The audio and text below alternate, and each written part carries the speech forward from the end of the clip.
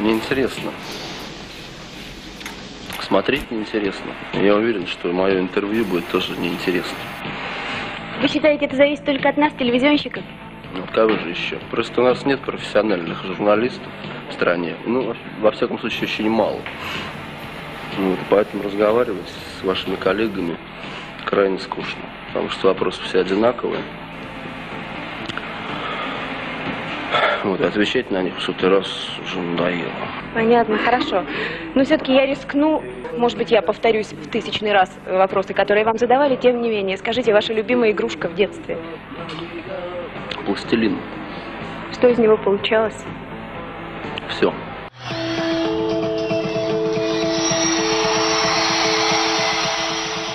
Кино. Почему именно кино? Ну, знаете, когда мы придумали это название, нам было 18-19 лет, и сейчас просто я даже не помню. Это такая фонаря просто.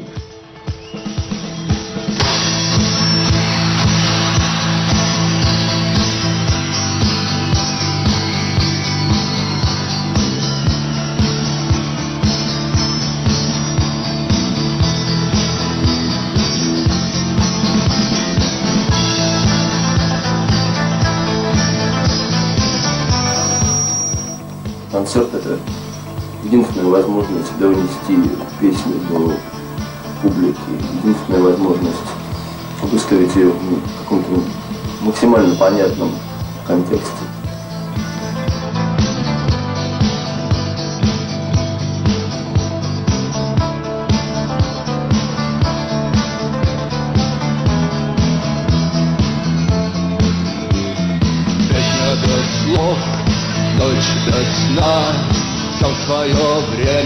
И весна.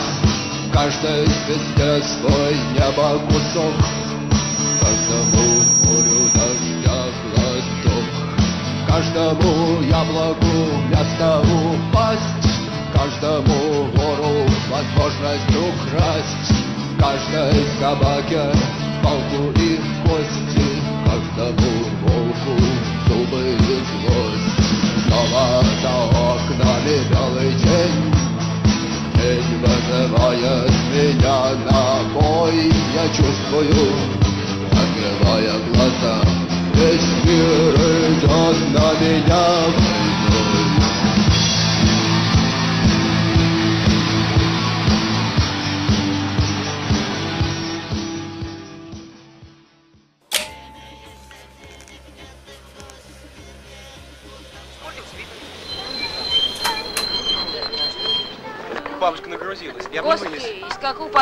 повылазить? Так, ребята, горизонте Цой. Давно ждете? сказал. Вы ничего. Светлы, рано пришли. Через час приходите. Пойдем, пойдем. Ребята, в котельную приходите ко мне после десяти. Да, Поиграем. только оденьтесь прилично. Густав, покажи-ка им.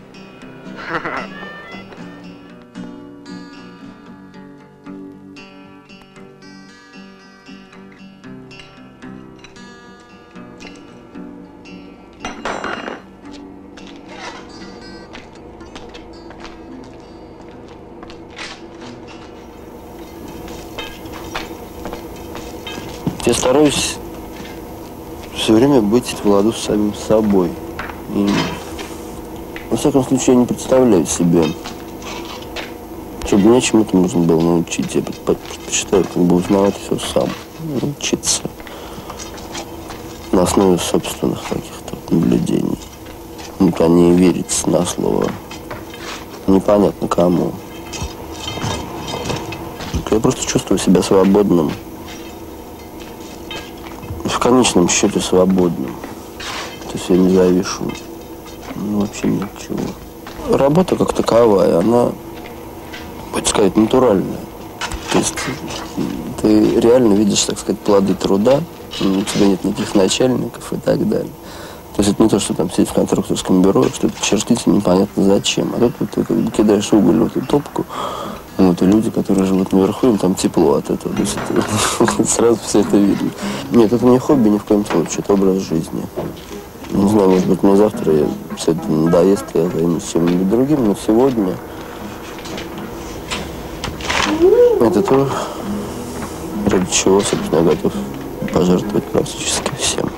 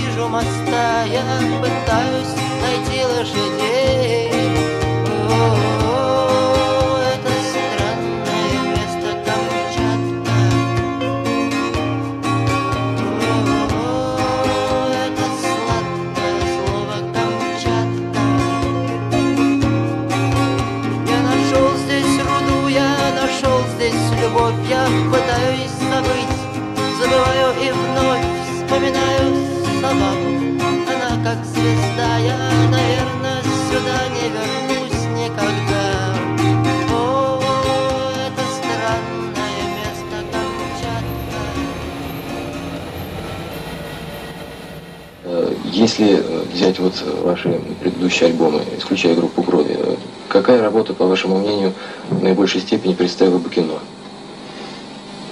Ну, вы знаете, один альбом, конечно, не представил бы группу кино. И... Но из старых альбомов мне больше всего нравится первый альбом. 45. 45, потому что, ну, как бы, ну, не знаю, в общем, мне нравится. Но другое дело, что я как бы из него немножко вырос уже. И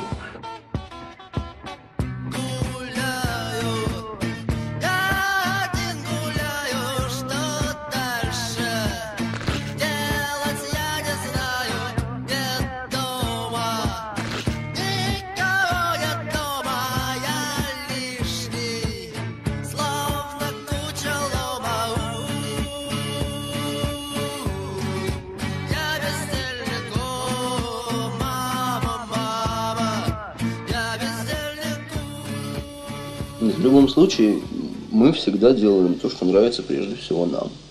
Я могу сказать в песнях, как, на мой взгляд, лучше. Что, на мой, что мне лично нравится, что мне лично не нравится.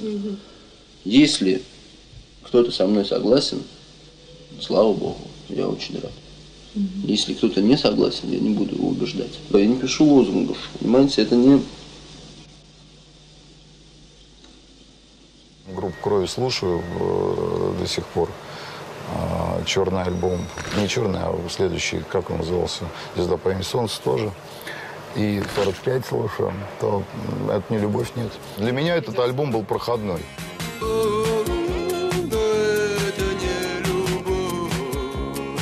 Я помню, как я входил в рок-клуб, значит, э, в качестве слушателя, зрителя, потом члена жюри фестивалей. И, э, так сказать, такого преклонения перед Цоем никого не было. Абсолютно. С ним, больше того, немножко, так сказать, снисходительно к нему относились. И народ говорит, ну, Цой вообще поет мимо нот. Были такие мнения. Ну, как вам сказать? Я не знаю, я не работаю над песнями. Я... Это для меня не работа, просто так получается. То есть это естественно всегда происходит. То есть я не- рабочих моментов там нет. Там есть... Я не знаю, я как-то вот начинаю что-то играть, потом начинаю что-то записывать, какие-то делать черкушки, а потом... Ну, знаете, я не занимаюсь анализом своих песен, какие там у них направления. Я просто пишу песни такие, которые мне нравятся. И, ну, как-то вот так получается.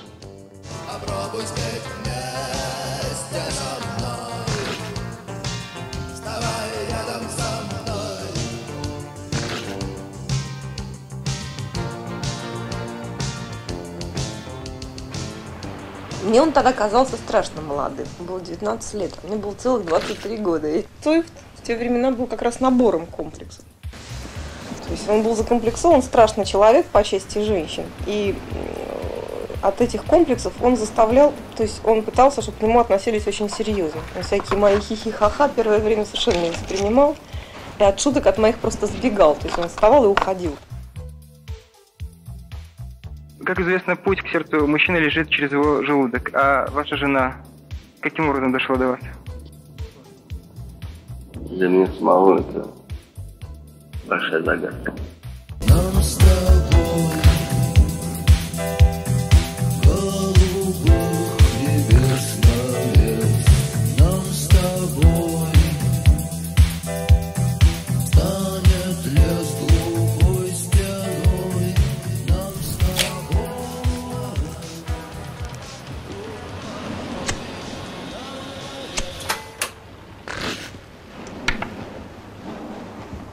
Витя был прописан в московском районе. А мы жили тогда на Охте, снимали квартиру. И я ему говорю, давай спрячемся, пересидим мы этот призыв еще, а там что-нибудь придумаем.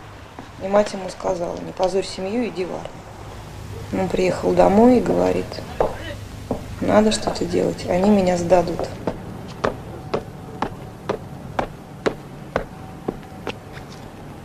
Товарищ полковник, молодое пополнение прибыло в часть. То есть, единственное, что мне хотелось, ну вот и хочется, но я не знаю, опять же, не могу сказать, чтобы я призывал к этому песнями, может быть, потому что я пою о там каких-то вещах, чтобы люди чувствовали себя больше свободными от обстоятельств. То есть, чтобы человек сохранял скорее себя, нежели какой-то внешний комфорт. Родина гордится вами. Родина благодарит вас. Родина рассчитывает на вас. Молодость, смерть и оружие. Как противоестественны эти понятия. Афганские дороги. Сколько о них сказано и написано. Со стороны все выглядит довольно красиво. БТРы словно корабли скользят по серой глади. Только вот в кильваторе ощущение, будто попал в дымовую завесу.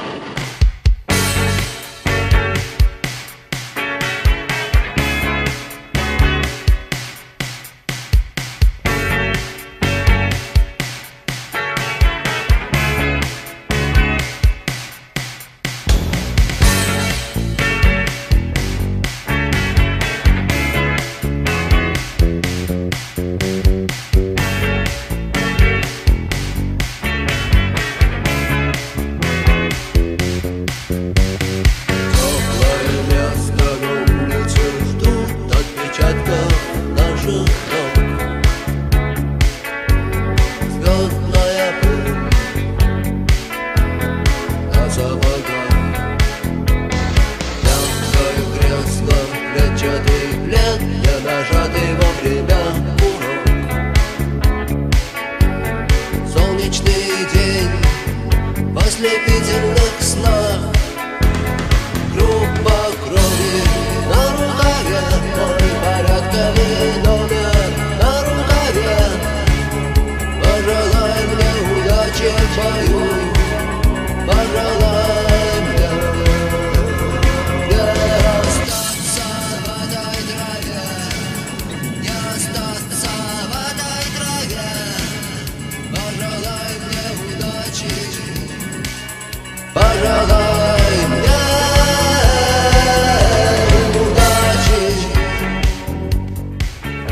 изобразили суицидную попытку. Ну, там чего-то себе разрезал на руках. Я вызвала скорую помощь, его увезли на пряжку. Это психушка на около декабристов. Психиатр меня долго мурыжила, что вот вы, наверное, ему изменили. Вы, наверное, мальчик расстроили. Я смотрю, что Цой начинает просто действительно становиться нормальным. То есть без всяких шуток уже. Он мне говорит, что вроде все в порядке. Единственное, что мне чего-то колет. А что колет, не говорят. Но самое печальное в этой ситуации было то, что лечащий врач, ему очень хотелось, по-моему, вывести Витю на чистую воду и добиться от него какого-то признания. И я вперлась к нему в кабинет с дикими воплями. После моей этой истерики его через дес- неделю где-то, может быть, через дней 10 выписали. У него после пряжки он очень захотел на мне жениться обязательно.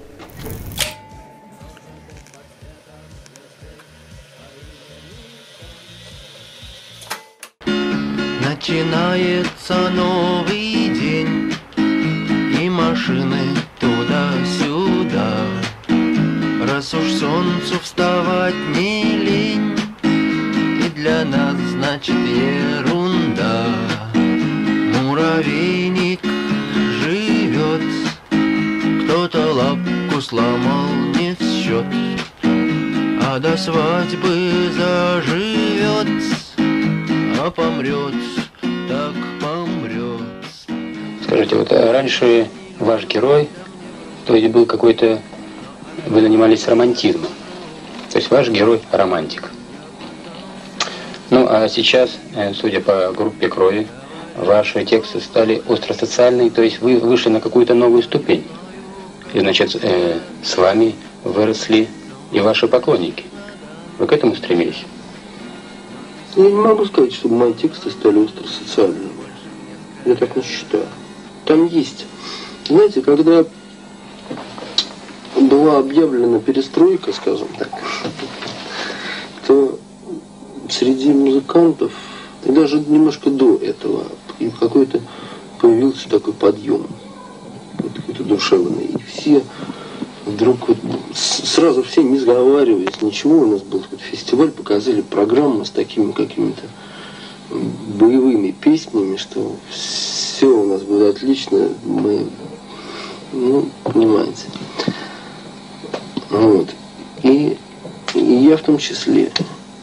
И часть песен группы крови как раз такого более социального, социального характера. Но только часть, и не самая главная часть. С Виктором Цоем, руководителем группы «Кино», мы встретились перед началом просмотра фильма «Игла».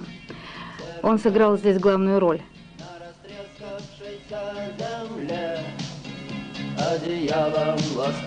Виктор все-таки немножко волновался и сказал, что интервью даст только в том случае, если фильм ему понравится. Закрывая небесный свет, а над городом желтый дым. Городу две тысячи лет, прожитых под светом звезды по имени Солнце. Своей работой как актера ты доволен? Не вполне. А вот ты волновался, когда снимался? Тебе это было страшно, там, удобно, тяжело? Ну, знаете, это все-таки не первый раз был. Это, хотя это первый фильм, где я играю главную роль и не выступаю в качестве музыканта. Но... Ну, в общем, нет, потому что ну, от меня, для меня важно было быть естественным. А почему вот в этом фильме приглашены практически все непрофессионалы? Нам не хотелось никакой игры. Чтобы этого не было, чтобы не было никакой театральности в этом.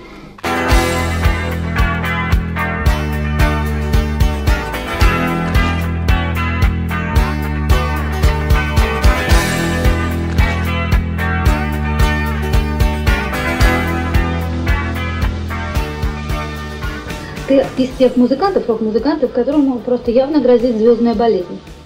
Ну, я не знаю, я не знаю, откуда можно, можно было сделать такой вывод, не мне об этом судить.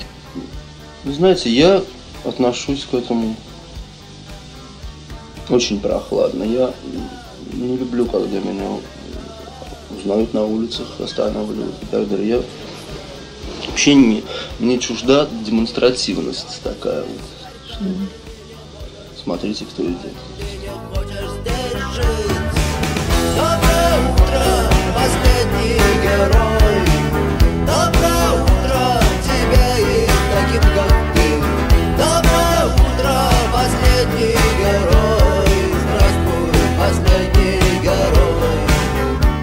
Потом была такая еще история. Вот играл на гитаре, и на гитаре лопнула струна лопнула струна, и начался какой-то крик, шум, чего-то это самое. Он говорит, ребята, мы занимаемся серьезным делом. Тихо. Я буду играть и петь дальше. Только мне нужно сменить струну, потому что струна важная. Как вы считаете, менять или нет? Меняй, Витя, меняй, мы тебя любим. И вот это вот, это, конечно, вещь, которая ушла. Я ни на одном концерте, ни, ни, ни, который сейчас происходит, там, включая Пола Маккартни, да, вообще не могу себе представить, что кто-нибудь в зале наступила вдруг абсолютная тишина, и кто-нибудь выкрикнул «Маккартни, играй дальше, мы тебя любим!» Для Маккартни это невозможно. Лицо это было бы.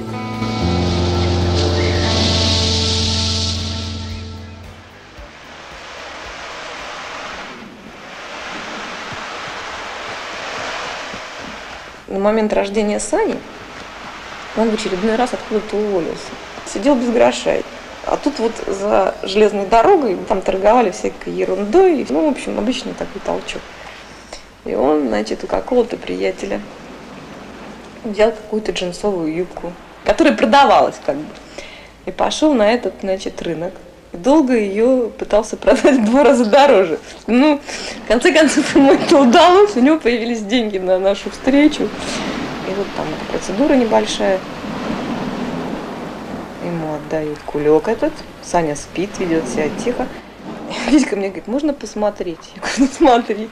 Он, значит, распаковал младенцы, а там лежало такое существо, такое очень смуглое, с такими и синь черными волосами, и абсолютно узкими глазами восточными.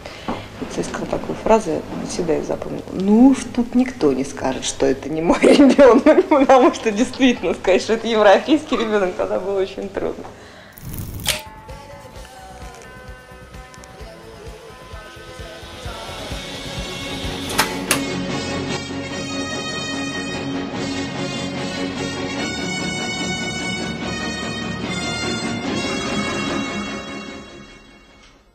Добрый вечер. Здравствуйте, товарищи.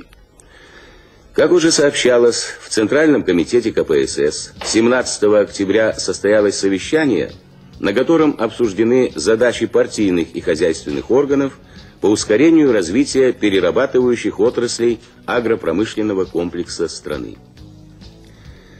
Совещание открыл Михаил Сергеевич Горбачев.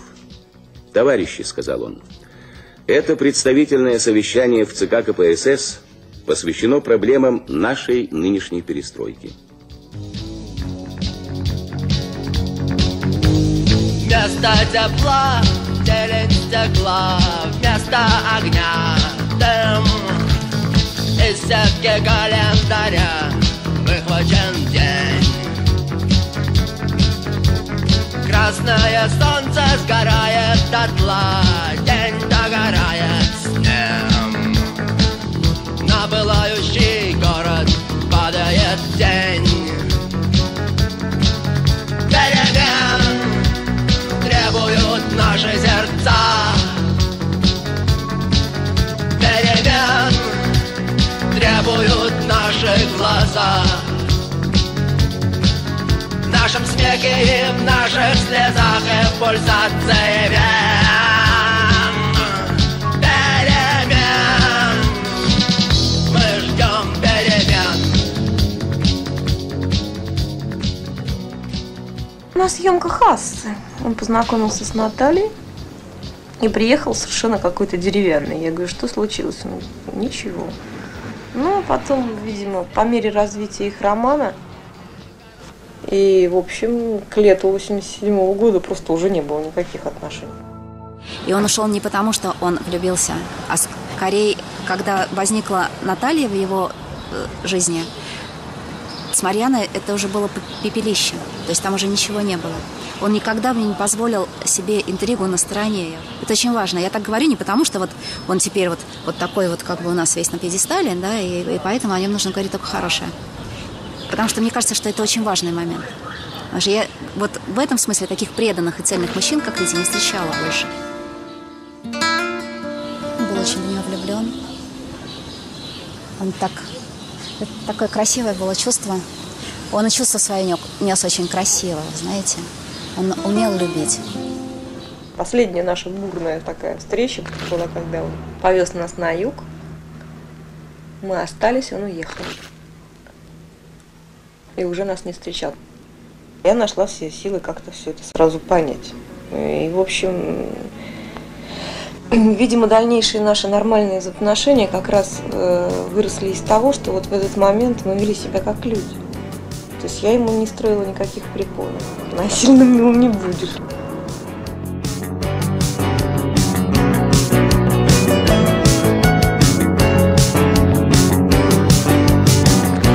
Они говорят, им нельзя рисковать Потому что у них есть дом. В доме горит свет И я не знаю точно, кто из нас прав. Меня ждет на улице дождь И ждет дома обед. Закрой за мной дверь, я ухожу Закрой за мной дверь, я ухожу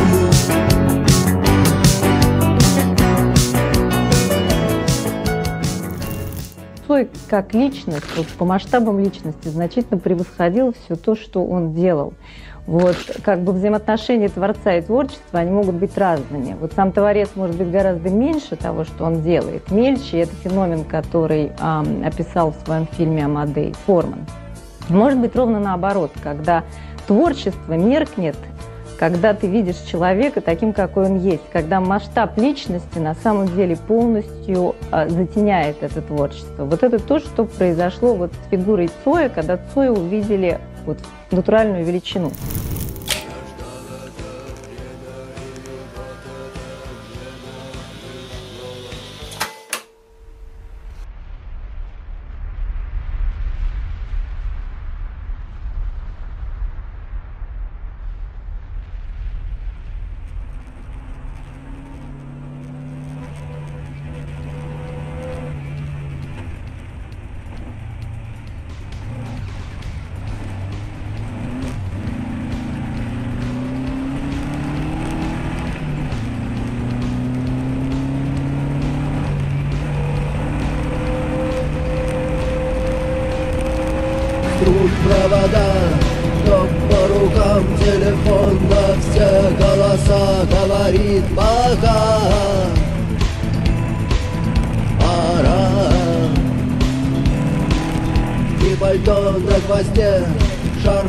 Рукаве и перчатки в карманах шепчут подожди до утра.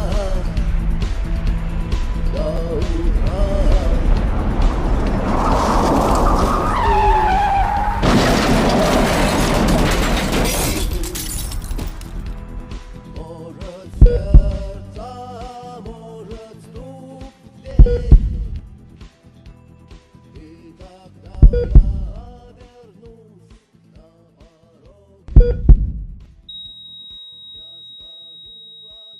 Вчера в автомобильной катастрофе погиб один из кумиров советской молодежи, известный в мире рок-исполнитель Виктор Цой.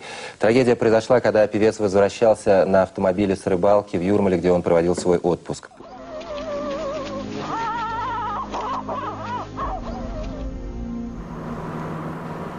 Мама мне позвонила по поводу того, что она долго плакала, ничего не могла сказать. Э, Говорила только, какое несчастье, какое несчастье. И... То есть она мне сказала, что они разбились.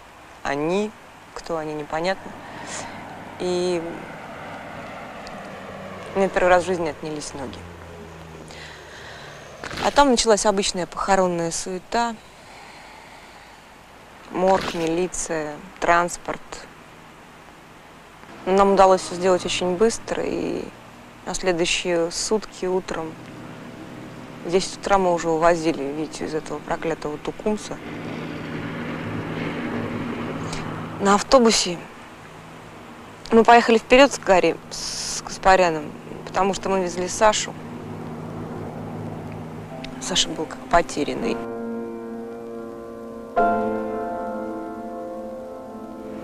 Примчались раньше. Автобус с телом, если можно так сказать, ехал очень медленно.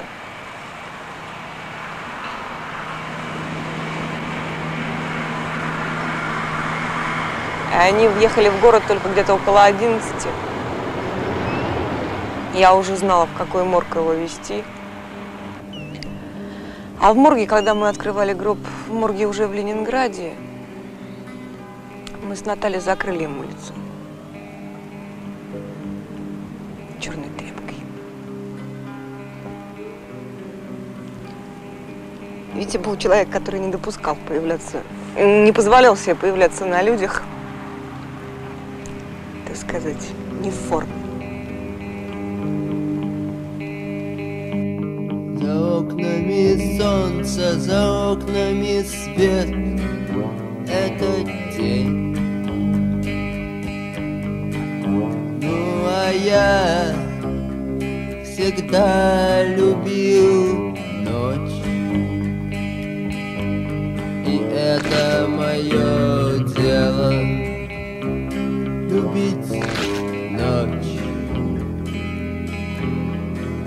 это мое право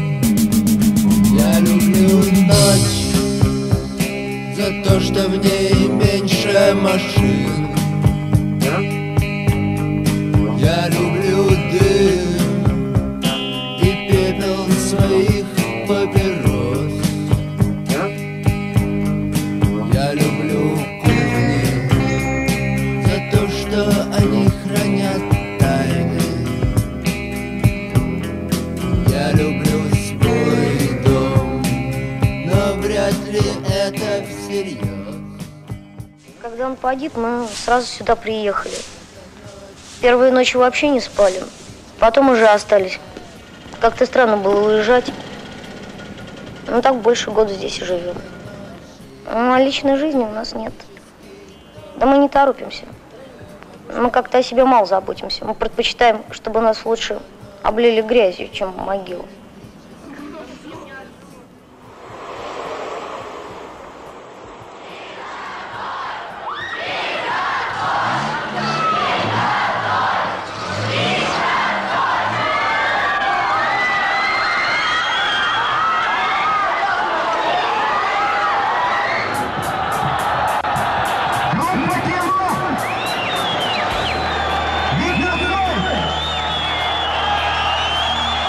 Обладал колоссальным магнетизмом, владением душой и сознанием огромного множества людей. Ты же знаешь эту, так сказать, знаменитую э, историю, когда его горячие поклонники пишут «Цой жив».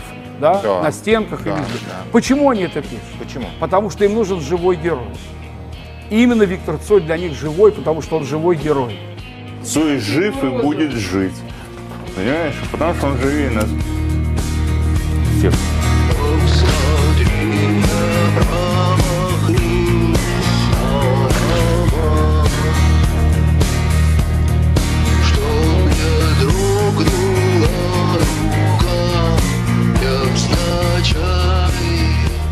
Он фигура колоссального масштаба, это ясно. Это было мне ясно еще в 85-м, там, 86-м, когда мы с ним познакомились.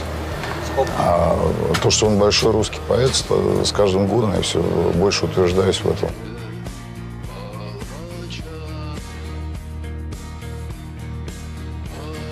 Наши парни, афганцы, которые прошли Афган, понимаете, это не просто там дети какие-то не- нервные, да, слабонервные. Это люди, которые видели смерть рядом с собой. Они стояли посредине города и рдали друг друга, вот так уткнувшись. Это взрослые люди, да, у них волосы были седые от того, что они там пережили.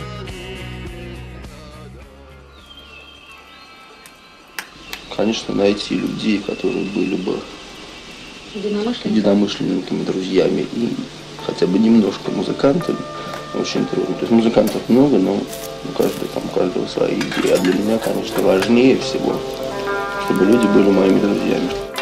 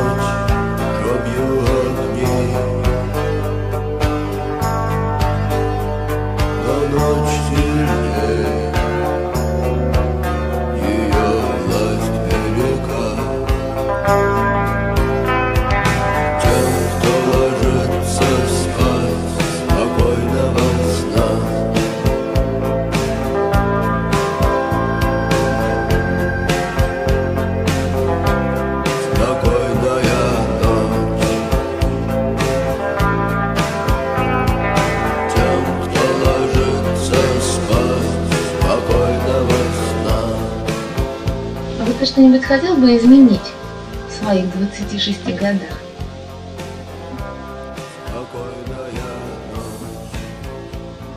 Ну, знаете, все это для меня важно, все, что я уже...